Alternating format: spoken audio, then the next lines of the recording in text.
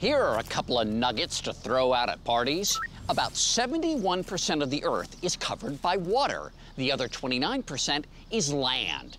And dry lands and deserts cover about a third of that land. Now, I've got nothing against sand, sun, and blistering heat, but I'll be honest, too much sunscreen makes me break out a skosh.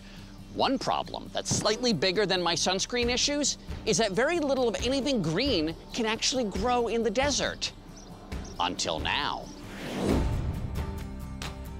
From sprawling barren land to a flourishing agricultural paradise, inventor Christian Olsen is on a mission to green the world's deserts through his innovative technology called liquid nanoclay.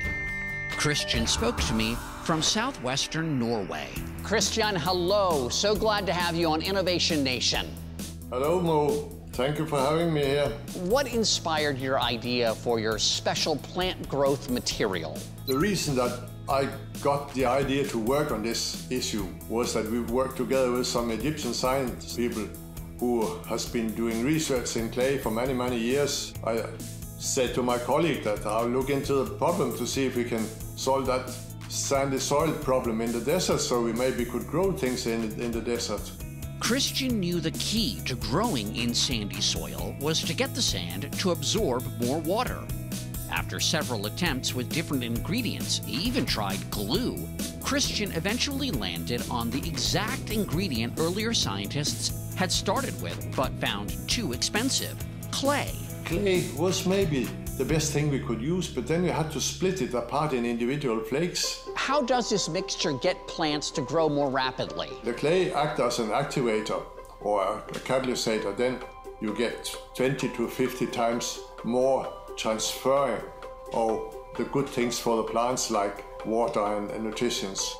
All told, we can describe the material as clay, split up into the itty bittiest particles you can think of.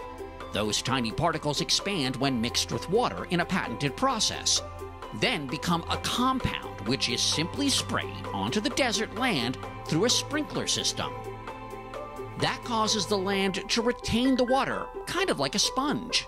With this treatment, Christian says deserts, like the one he started with in Egypt, can grow grass and crops just as well as normal soil can, and even save up to 65% of the water used during irrigation. Christian, thank you for greening our deserts. Thank you for having me, Mo.